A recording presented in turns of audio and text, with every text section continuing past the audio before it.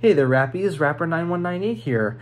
I just wanted to make this video and give you guys a heads up that that is the last of the videos from the Rockin' Rogers concert that I went to.